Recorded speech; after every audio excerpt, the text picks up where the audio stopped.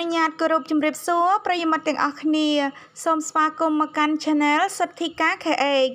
ចាបើវិលមកជួបគ្នាសាជាថ្មីទៀតហើយប្រិយមិត្តថ្ងៃនេះ admin ក៏មានព័ត៌មានមួយតាក់ទងទៅនឹង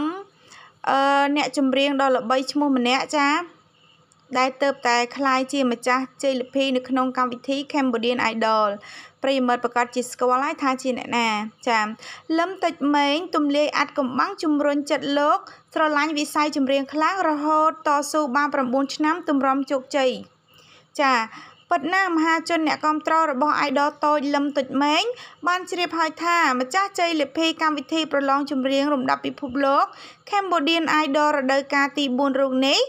អាចចាត់ទុកថារូបលោកបានក្លាយជាតារាចម្រៀងពន្លកថ្មីមួយរូបដែលកំពុងតែជោគជ័យ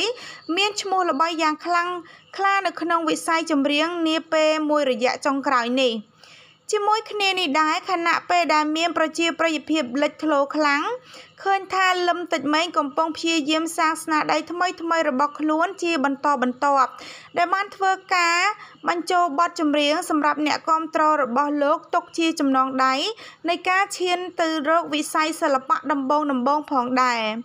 ម្យ៉ាងវិញទៀតស្របពេលនេះដែរ ចាប់អារម្មណ៍ឃើញថាអាយដលតូចរូបនេះតែងធ្វើការបង្ហាញអំពីជីវិតឯកជនក៏ដូចជាភាពនឹករលឹកនៅរឿងរ៉ាវអតីតកាលនិងការតស៊ូផ្សេងផ្សេងនៅក្នុងជីវិតព្រមទាំងការតស៊ូដើរលើវិថីចម្រៀងការពីកន្លងទៅមកដែរជាស្ដែងថ្មីថ្មីនេះលឹមតិចម៉េងក៏បានទម្លាយប្រាប់មហាជន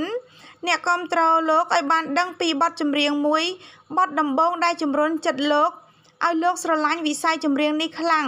និងតស៊ូហ្វឹកហាត់ក្នុងវិស័យនេះអស់រយៈពេល9ឆ្នាំមកហើយទម្រាំតែជោគជ័យមកដល់សប្តាហ៍ថ្ងៃ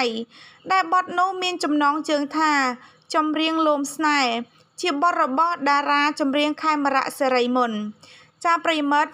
នាងខ្ញុំក៏បានធ្វើការបញ្ចប់នៅអត្ថបទនេះដែរបើសិនជាប្រិមិត្តពេញចិត្តសូមធ្វើការចុច Like Subscribe ដើម្បីទទួលបានវីដេអូថ្មីថ្មីមុនគេចាសូមអរគុណសូមគោរពលាជួបគ្នានៅវីដេអូក្រោយៗទៀតបាយបាយ